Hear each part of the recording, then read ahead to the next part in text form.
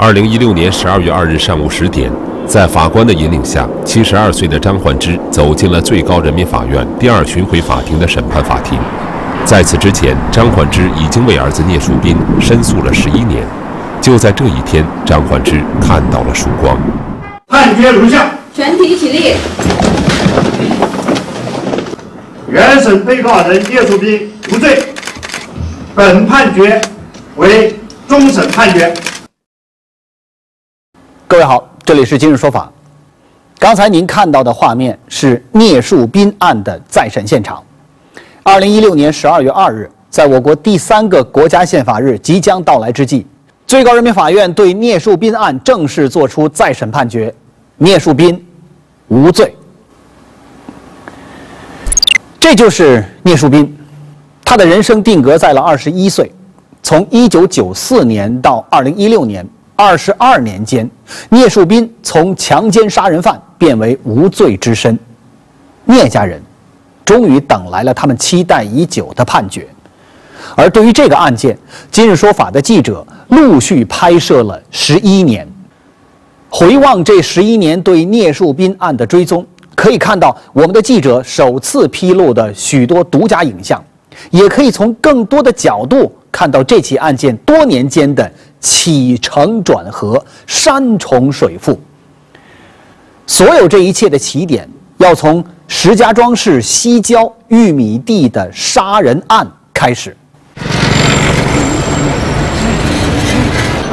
河北省石家庄市西郊石货公路的路南有一片开阔的农田。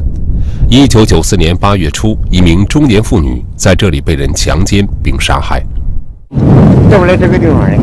大概就在就在这个地方是吧？哎，他车啊都来俺那个，嗯，那那那那小树尖儿，小树尖儿那么高。哦哦，这应该就是那边。哦哦哦。在发生这起案件十年后的二零零五年三月中下旬，记者第一次来到这里采访拍摄。农田里是一大片麦苗，经历了头年的严冬考验之后，麦苗已经返青，在初春焕发着新绿。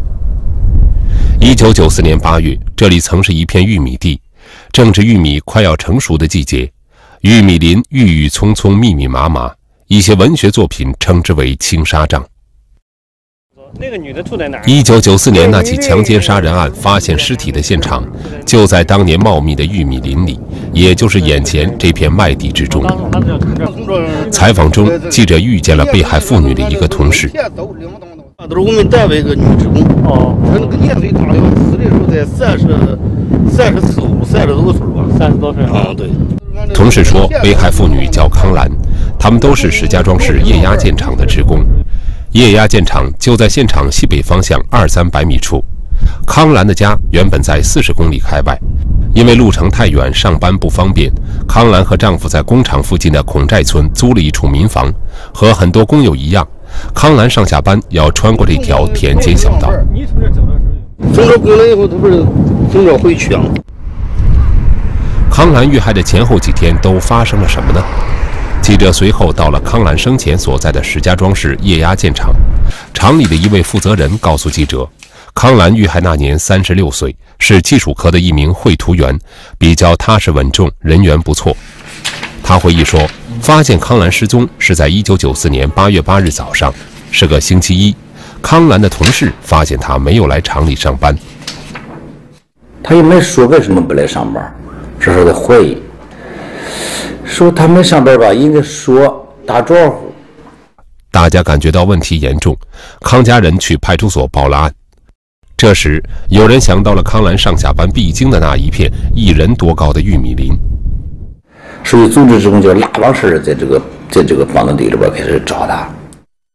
康兰的失踪引起了厂领导的重视，液压建厂一百多名男职工和康兰家人走进工厂后面的几十亩玉米地，展开拉网式的查找，直到天快黑时，几个人在路西边的一处机井旁发现了情况。在那个地方发现这个女死者的是穿的是裙子，啊，还有个内裤。衣服是卷成一卷，塞在机井旁边的一堆杂草里。经康家人辨认，这正是康兰的衣服。这是一个不祥的预兆。第二天一早，一百多名工人再次进入玉米地搜索。在接近中午时，在路东边的玉米地里找到了一具已经高度腐烂的女性尸体，旁边还有一辆自行车。经辨认，死者正是康兰。当年康兰的尸体被发现后，警方立即进入现场并展开调查。一个多月后，案件告破，警方抓获了一名嫌疑人，他就是聂树斌，当年二十岁。被抓七个月后，一九九五年四月二十五日，聂树斌二审被判处死刑。两天后，聂树斌被执行死刑。从康兰遇害现场北边的石货公路向西约十五公里，石家庄鹿泉市的下聂庄村就在那里。聂树斌就是这个村子里的人。二零零五年三月下旬的一天早晨，记者第一次来到聂树斌家，见到了聂树斌的父亲聂学生和母亲张焕芝，两个人都已经年过六旬。接受不了这现实，但是毕竟是我生的他，我养的他，我儿子什么样的人，在我心里装着的，谁最了解他？就不如我做母亲的了解他。这张全家福照片，据张焕之回忆，大概拍摄于聂树斌被执行死刑两年前的夏天。照片中前排两个人是张焕之、聂学生两口，后排两个人是聂树斌和姐姐聂淑慧。聂树斌出生于一九七四年十一月，一九九四年被抓时不满二十岁，一九九五年被判处死刑并执行时是二十岁零五个月。家里养了个鸡，这套牙都拐了，我让他杀了，催他一次，他不杀。那天催他了，后来我又问他，我说你怎么不杀呀？都九三年的事啊，九四年逮他的，他说我怕。在张焕之的眼里，聂树斌胆小内向，再加上天生就有口吃的毛病，从来不敢跟人吵嘴和打架，甚至连家里的一只生病的母鸡都不敢杀。特别都是温温顺顺个孩子，你说强奸杀人，我知道十年了，我接受不了。为什么我接受？我只能默默的接受。张焕之两口内心不相信儿子是个强奸杀人的恶魔。张焕之说，他后来也去有关部门申诉过，但根本无力推翻这个定论，只能默默接受现实。石家庄西郊玉米地案和聂树斌这个名字，在当年没有太多的人知道。然而，在聂树斌被执行死刑十年之后，二零零五年三月，石家庄西郊那起案件。却被掀起了波澜。聂树斌这个名字从那个时候起进入了公众的视野，也注定要被记录在中国的法治历史当中。这次波澜源于河南警方的一次行动。我们今日说法的记者也在第一时间赶往了河南。二零零五年春节前，荥阳市索河路派出所民警在工作中获得一条线索。这个砖厂里一个姓王、绰号大王的工人行为很反常。呃，一个外公，在这个砖厂已经生活五六年了。春节期间，逢年过节从来没回去过。平时在民警去清查站路门口的时候，他自己就躲起来了。然后是如果看见警察、警察搁这过的时候，他就钻到玉米地里了，他钻到庄稼地里了。大王平时沉默寡言，不爱跟人接触。砖厂一起干活的工友只知道他是河北人，没有人知道他的真实姓名。大王也从来没跟人提起过他老家的情况。多年来，他跟妻子以及两个孩子就住在砖厂的一处工棚里。大王的反常表现引起了派出所民警的警觉。派出所民警决定先摸清大王的真实身份。二零零五年一月十七日晚上十点多，民警敲开了大王居住的房门，检查身份证。嗯，他找找他，因为他没身份证，找找，嗯，他就就到所里调查一下，跟着就走了。大王年龄大概四十岁，没有身份证，也没有暂住证。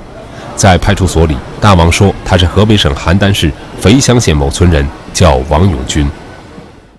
经过上网查吧，官网嘛，上网查他的身份的时候呢，查不到这个人。民警随即又跟邯郸市肥乡县警方打电话核实。在肥乡县几十个同名的人员当中，也没有符合大王身份的人。此后，大王又报了十多个名字和住址，民警一一核对，但都对不上号。咱不能说先入为主，就要确定他是有什么事情，反正最起码应该把他身份搞清楚。大王是真的记不起来家庭地址，还是有所隐瞒呢？派出所民警发现，大王虽然文化水平不高，但智力和精神正常。民警不厌其烦地核查大王的身份。又过了几个小时，一月十八日凌晨两点多钟，大王终于动摇了。在所长的办公室里，大王说出了自己的秘密。他第一句话就说：“我杀过人，当时以后杀过人，我比较吃惊。”大王供认，他真名叫王书金，当年三十八岁，河北省邯郸市广平县人。一九九三年到一九九五年间，他在河北老家一共犯下了六起案件，其中四起强奸杀人案，两起强奸案。聂树斌伏法十年后，有人说自己才是真凶。啊，我们不惜一切代价要把事实查清。一案两凶，究竟谁是凶手？没有人指认，就是他干的。二十年来，他坚信儿子是清白的。才开始接受的时候，都把我气炸了。聂树斌案十年调查，今日说法继续播出。王书金跟聂树斌的名字联系在一起。那是在王书金被河北省邯郸市广平警方带回去几天之后，民警在对王书金交代的六起案件核查的时候，发现，王书金交代于一九九四年夏的一天，在石家庄西郊强奸杀害了一名妇女。然而，邯郸警方到石家庄调查的时候，却得知这起案件早已告破。当地警方在案发一个月之后就抓到了凶手。案发八个月后，凶手已经被判处死刑，并执行了死刑。这个人就是聂树斌。我感觉到，我说这才是真正的新闻呢，要不然一般的来说，排查抓了一个犯人，这都是一般新闻。马云龙当时是河南商报的总顾问，负责报社的采编工作。王书金落网后，河南商报曾发表了一篇名为《河北催花狂魔荥阳落网》的报道。听到最新的消息后，他立即派记者赶赴河北。经过几天的调查走访，2005年3月15日，河南商报又刊发了一篇名为《一案两凶，谁是真凶》的文章。文章说，聂树斌被处决十年后，又一个疑似真凶出现，聂树斌疑似被错杀。文章一刊登，立即在全国引起轰动。二零一五年三月，记者结束在河南荥阳的采访后，来到河北省邯郸市的广平县。王书金交代的六起案件中，一起发生在省会城市石家庄，五起在广平县境内。广平警方是王书金案的第一侦办机关，王书金此时也被关押在广平县看守所。石家庄西郊玉米地案，王书金是怎么交代的？案件核实的进展怎么样了呢？记者来到广平县公安局，找到了副局长郑成月。一九九五年，王书金涉嫌杀人被追逃时，郑成月从警不久，是侦办王书金案的一个普通民警。此时已经是分管刑侦的副局长，仍然负责王书金案的侦查。但是我们有好多秘密问题，现在正在进一步的侦查。我们全部警力都投到这儿，刑事警察我们都在搞这一块的。啊，我们不惜一切代价要把事实查清，如实向我们各级组织，然后反映，而且如实给人民群众一个答复。啊，给各个级的一个答复。这个你反映。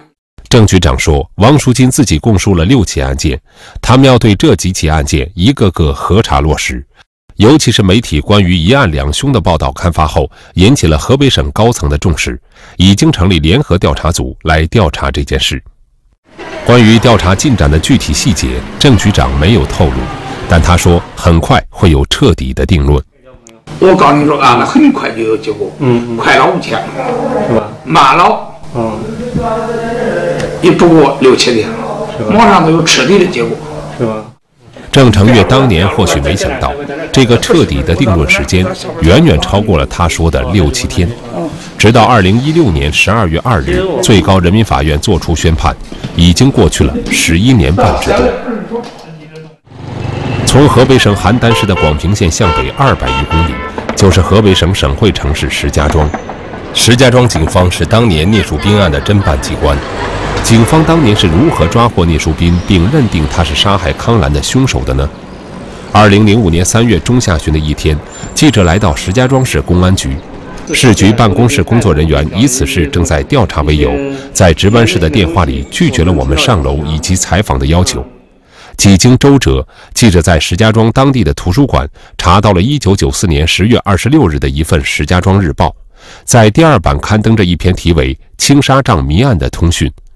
这篇一千多字的文章记录了从案发到聂淑斌落网认罪的经过，而另一篇更为详细的报道是1994年11月30日发表在河北省社会治安报上的一篇通讯，文章的标题是《青纱帐静悄悄》。这篇题为《青纱帐静悄悄》的通讯，详细的描述了抓捕聂树斌的过程。首先，有群众举报说，入夏以来，在该宿舍区周围经常有一个二十来岁左右的男青年来转悠，鬼鬼祟祟，总是在发现有女同志上公共厕所方便的时候，他就跟过去。这家伙骑一辆蓝色的山地车。反正种种迹象表明，这个骑山地车的家伙嫌疑很大。文章描述了当年警方抓获聂树斌的经过。这两篇文章的作者焦警官曾是侦办此案的石家庄市郊区公安分局的民警，后来调到了桥东公安分局某刑警中队。记者两次直接前往桥东公安分局某刑警中队，终于在焦警官的办公室见到了他。公安局提供证据，他是嫌疑人。嗯，嫌疑人。他是嫌疑人，然后检察院批复。嗯，如果公安局这个没有这个系列证据，他肯定不是一个证据，不是肯定不是一个口误。焦警官说，当年司法机关认定聂树斌是凶手，肯定是有证据的，但具体细节他不清楚，因为他不是专案组成员，他当时只是局里的一名通讯员，跟着侦查员一起了解大致案情才写报道。河南警方抓获的嫌疑人王淑金交代。石家庄西郊玉米地里强奸杀害康兰的案件是他做的，这个情况焦警官也有所耳闻，但他认为这并不能说明王淑金就是凶手，因为王淑金当时曾在案发现场附近一百多米远的一个工地打工，王淑金了解一些案件的细节也不足为奇。当时在发现是一冯长胜的尸体，啊，所以说大量的人知道这个地点在哪儿。啊，这个王淑金他不是当年也在那儿吗？嗯，调查员还调查找过他。嗯，这个办案。所以说他知道现场很正常。公安机关没有接受正面采访，记者也曾先后赶到起诉聂树斌案件的检察机关和作出宣判的石家庄市中级人民法院和河北省高级人民法院，但几家单位均以案件正在调查为由，拒绝了记者的采访。在聂家人看来，如果聂树斌是强奸杀害康兰的凶手，理应承担罪责，但他们内心并不相信聂树斌会做出那样的事情。随着岁月的流逝和日子的渐趋平淡，张焕之两口只能把失去儿子的伤痛藏在内心深处。直到十年后的二零零五年三月，家里陆续有记者来询问当年的事情，张焕之也开始警觉起来。我说怎么着啊？这个案子事怎么着了？我老是想想不清。经过再三询问，张焕之两口才明白，河南警方抓获的一个嫌疑人王淑金供认，1994年石家庄西郊玉米地那起案件是他犯下的。张焕之后来去案发现场的村子询问，也得知当年那片农田里只发生过一起命案。他突然意识到，如果王淑金说的是实情，那就说明当年他儿子是被错杀了。才开始接受那时候，都把我气炸了，心里都气炸了。嗯，怎么会是这样事儿啊？怎么会是这样事儿啊？其实我这人挺理智个人，对，很理智个人。我还是，我跟你说，对政府和对公检法这一块儿我什么时候我也不瞎胡闹，我准备用法律一步一步的叫他给我个交代。二零零五年三月十五日，张焕之在他人的推荐下，来到省会石家庄的一家律师事务所，找到律师李树亭，请他代理聂树斌案的申诉。说如果聂树斌的案子是冤枉的话，那么呢，必须得通过再审程序来撤销原来的判决和裁定。接受委托后，李律师先后赶到河南荥阳，抓获王淑金的索河路派出所、康兰生前的单位、聂淑斌生前的工厂等地进行调查取证。李律师认为，王淑金的交代已经证明聂树斌案存疑。此外，在还没有见到聂树斌案卷宗的情况下，依据警方通讯员写的那两篇报道，他认为也有一定的疑点。就说他们当时呢，只是怀疑聂树斌。也就是说，在没有真正发现聂树斌犯罪事实的情况下，没有人指认就是他干的。李律师认为，警方只是根据群众的反映，怀疑一个骑着蓝色山地车、经常尾随女同志上厕所的人有杀人嫌疑，然后按图索骥，抓获了也是骑着一辆蓝色山地车的聂树斌，并认定他就是杀害康兰的嫌疑人。如果这篇报道中写的是事实的话，当年的办案人员就存在着有罪推定的嫌疑。从二零零五年四月开始，张焕之夫妇和李树廷律师就向河北省高级人民法院等多个部门提出申诉，请求重审聂树斌案。在张焕之申诉期间，他也在关注着王淑金的命运。二零零六年三月九日。河北省邯郸市人民检察院以王淑金犯故意杀人罪和强奸罪对他提起公诉。检察机关指控王淑金涉案四起，不包括王淑金自己供述的在石家庄西郊玉米地强奸杀害康兰的案子。所以说，两个程序上不存在着交集，因为王淑金通过二审程序到死刑复核程序，跟聂树斌案是不搭界的。朱爱民是王淑金的代理律师。他从2005年4月接受王淑金妻儿的委托，成为了王淑金的代理律师之一。朱律师说：“虽然王淑金案的审理和聂树斌案的申诉在程序上没有关系，但在一些重要的事实认定上，两个案子却有交集。这也是王淑金案的审理备受关注的一个重要原因。在事实认定上，那就归结到一个点上了，那就是石家庄西郊玉米地这个案子。”九四年八月五日，这个杀人强奸案究竟是谁所为？对于检察机关指控的几起犯罪事实，朱爱民律师说，王淑金基本没有异议。但检察机关并没有指控王淑金主动交代的石家庄西郊玉米地强奸杀害康兰一案，这让王淑金非常不理解，也不能接受。王书金认为，他主动交代了公安机关不掌握的犯罪事实，是自首和重大立功情节，司法机关应当对他从轻处罚。是他当地不掌握犯罪事实的情况下，我主动交代，交代之后我是这等于他自首。十年后，记者拿到王书金原始讯问资料，这到了我就开始掐的，把他掐懵了。记者两度采访王书金案民警，这个王书金就从这个口上这下了车。一串钥匙能否成为排他性的隐蔽细节？不是凶手，很难知道这串钥匙。聂树斌案十年调查，今日说法继续播出。王书金究竟是不是石家庄西郊玉米地案的凶手呢？王淑金在河南荥阳市公安局以及河北广平县公安局都描述了强奸杀害妇女康兰的过程，并两次带领河北警方前往石家庄市西郊那片麦田指认现场。他是怎么交代的呢？二零一五年的采访中，记者拿到了几份珍贵的原始录像资料。所以说，你只要能够哎把这个问题如实的说清楚，也就是交代清楚。详细照顾的情况就行了。这段视频左下角显示的时间是二零零五年一月二十五日，这个时间是在王淑金落网被带回河北广平县公安局后的第七天。这时，关于一案两凶的报道还没有出来。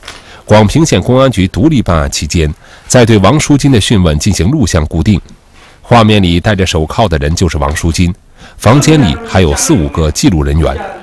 王淑金旁边坐着的一个穿警察服装、正在给王淑金谈话的人，就是河北省广平县公安局原副局长郑成月。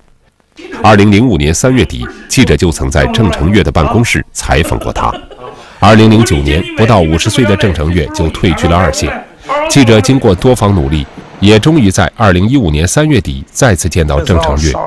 这距记者第一次采访他，同样过去了整整十年的时间。二零，当时我们也给他谈了，你记不清你就说记不清了，毕竟十年了。呃，记清了一定要说清，不要说假了，不要说谎了。王书金说不会这样的。那么，王书金当年是怎么交代石家庄西郊玉米地的那起案件的呢？他汽车他一过去，我就往人家里边给他拽到了，拽拽到了，我就开始那掐的，把他掐懵了，掐懵了，我整到他地，整到地了，我就赶快回来往那停车，停车我再点我点我又看有坐垫，坐垫接着我就掐的，又把他掐的不能动。等他就不能动了，我就把他那群众撂了，把牵来。在这次讯问中，王书金交代，一九九四年夏天，他在距离现场西南一百多米的一个工厂打工。他此前见过受害妇女从玉米地中间的那条南北土路经过，已经动了邪念。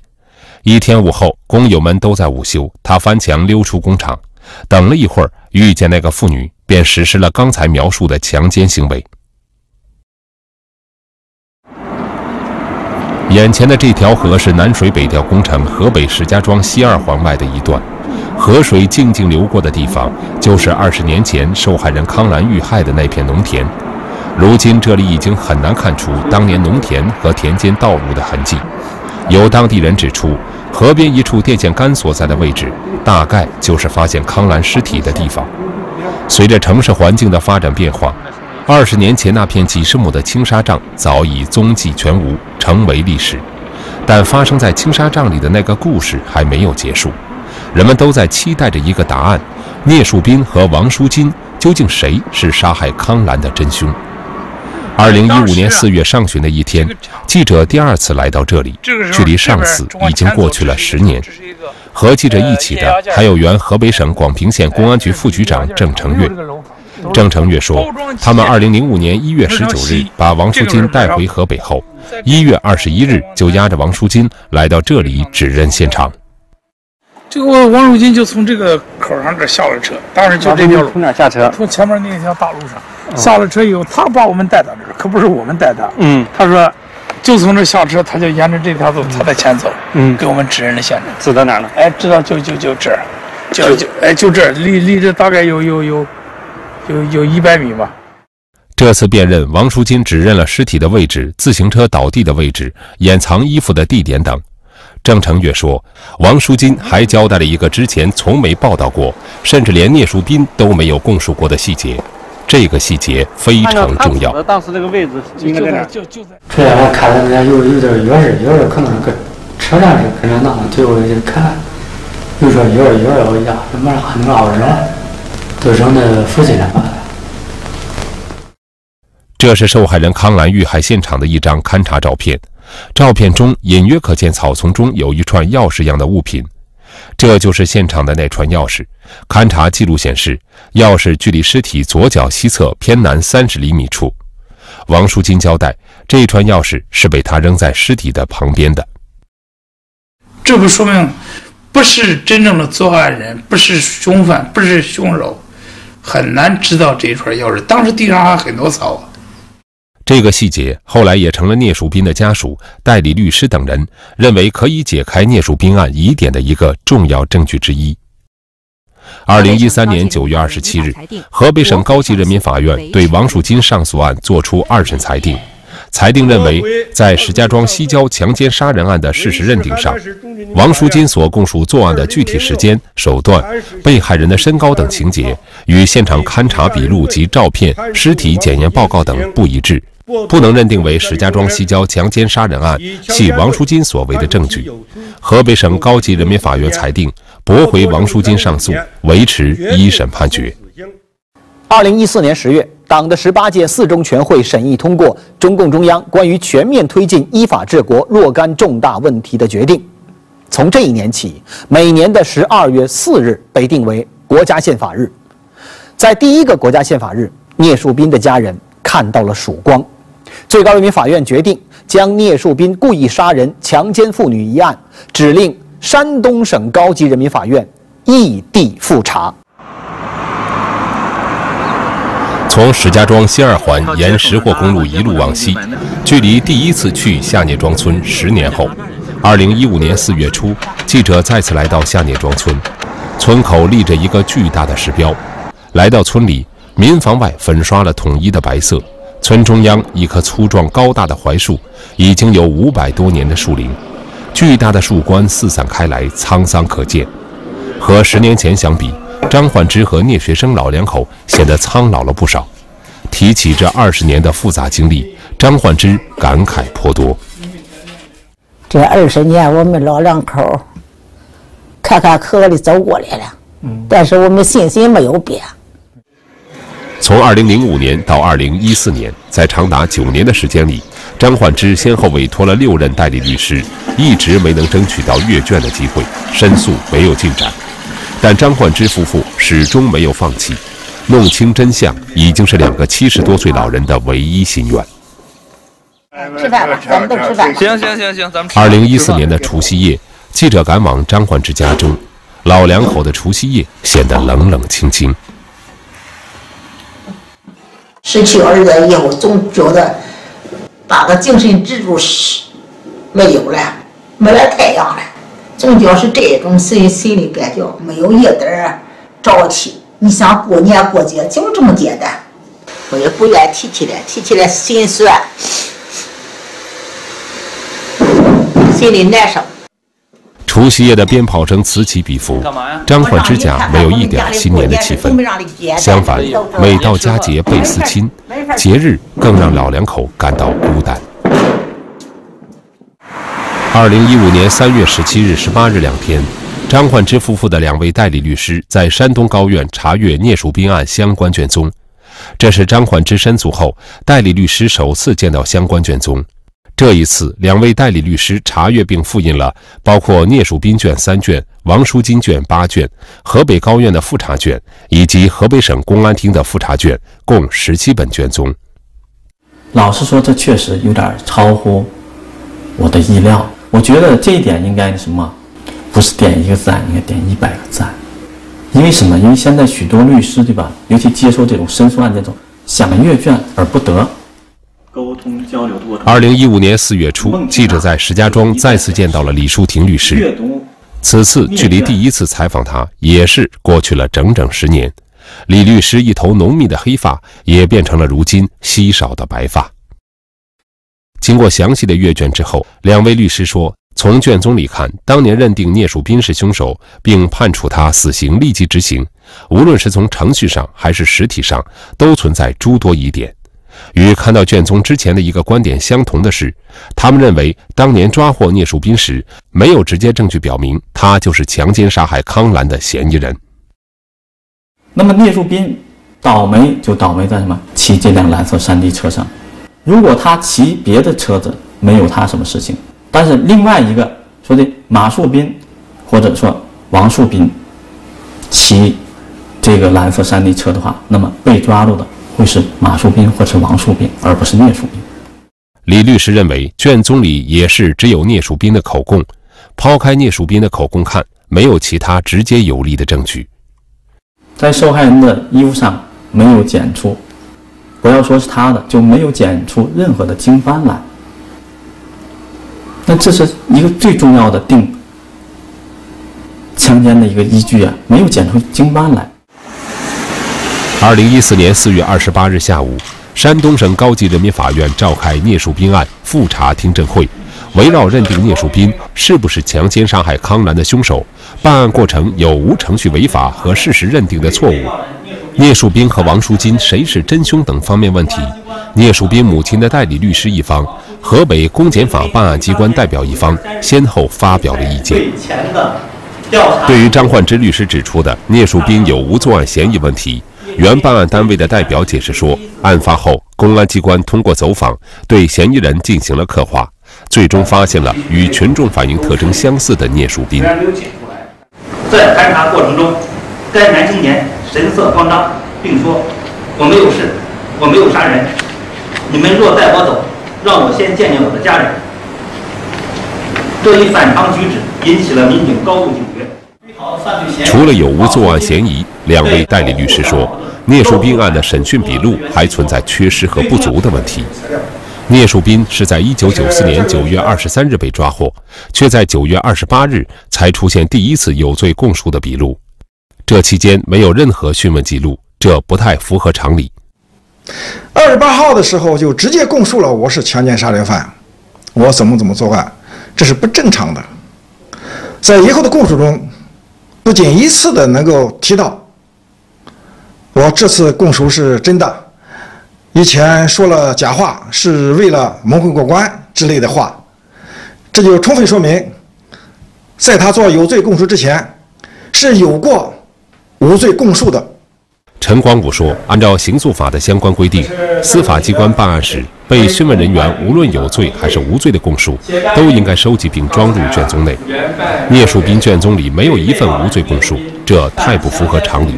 这些缺失的笔录很有可能对聂树斌有利，并对聂树斌案的真实性产生影响。”在二零一四年四月二十八日下午的听证会上，原办案单位的代表对此解释说。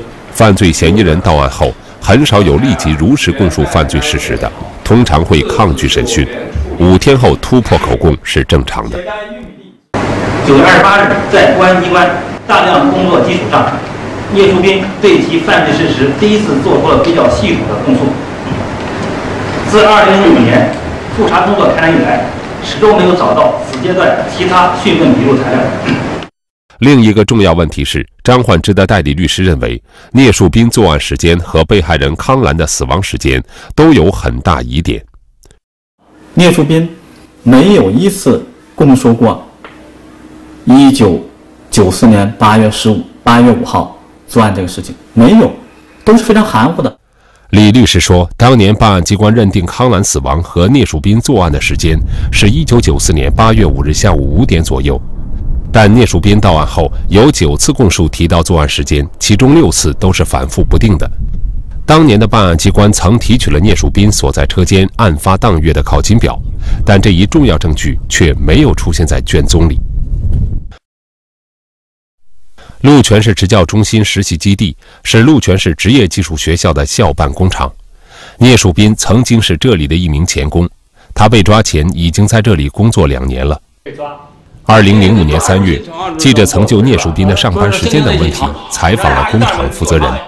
就是案发那一段，他是不是有一段没上班，还是说没有？后来又上班了？没有，没有，案发那段啊，上班了。工厂负责人回忆，警方后来认定的聂树斌作案的时间是一九九四年八月五日下午五点左右。他们在两个月后见到报道，推算了一下，但觉得那天聂树斌应该是上班了。捏报纸登了以后，俺们还专门推了推，说：“哎，这边上班啊？说他是不是去？说下班去。所以还还这，因为咱们下午下班早啊，中午没那个作案时间，五点五点下班，五点下班不太黑的。”工厂负责人说：“从八月五日到九月二十三日，聂树斌被警方带走，有一个多月的时间，他们没有发现聂树斌有什么异常。聂树斌的考勤和工作情绪也都很正常。”他们车间的考勤表在聂树斌被抓后不久就被办案人员拿走了，一直没有归还。沟通交流。李律师说，聂树斌的工厂距离案发现场有五公里左右，骑自行车大约二十分钟。如果一九九四年八月五日，一，咱们十八大四中全会以来，国家领导加大力度，在司法这一块一定要改革。确实体现到我身上了。聂树斌再审案，由第二巡回法庭庭长胡云腾担任审判长。合议庭全体成员对案卷进行了背靠背阅卷，此外还在案发地核实了相关证据。哎，我们也到了案发的现场，查看了这个杀人的现场，哎，查看了聂树斌被抓获的现场。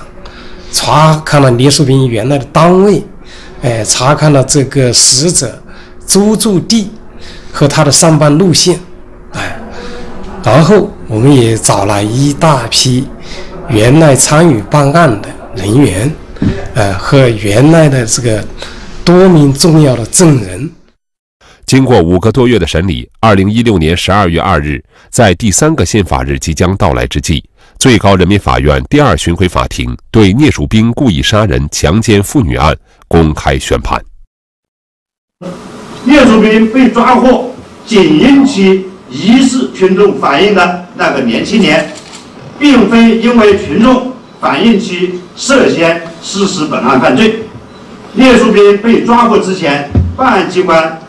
也没有掌握其实施本案犯罪的任何证据和线索。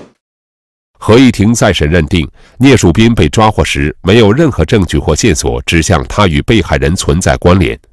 聂树斌被抓获之后，前五天的讯问笔录缺失，这严重影响了在卷讯问笔录的完整性和真实性。聂树斌被抓获之后，前五天讯问笔录没有入卷，不仅与当时的。法律及公安机关档案管理的相关规定不符，也与原办案机关当时办案的实际情况不符。原办案机关对此没有作出合理解释。原审卷宗中除了缺失前五天的讯问笔录，聂树斌所在车间案发当月考勤表缺失，导致认定聂树斌有无作案时间，失去原始书证支持。考勤表是证明聂树斌1994年8月出勤情况和有无作案时间的重要原始书证，具有重要的证明价值。原办案人员对考勤表未出卷没有作出合理解释。合议庭认定聂树斌有罪供述的真实性、合法性存疑，是否另有他人作案存疑？对关键事实的供述前后矛盾，反复不定。且不能排除子供诱供可能。再审判决最终认为，原判据以定案的证据没有形成完整锁链，没有达到证据确实充分的证明标准，也没有达到基本事实清楚、基本证据确凿的定罪要求。原审认定聂树斌犯故意杀人罪、强奸妇女罪的事实不清，证据不足。以一九七九年《中华人民共和国刑事诉讼法》的相关规定，不能认定聂树斌有罪，据此作出了聂树斌无罪的决定。原审被告人聂树斌无罪，本判决为终审判决。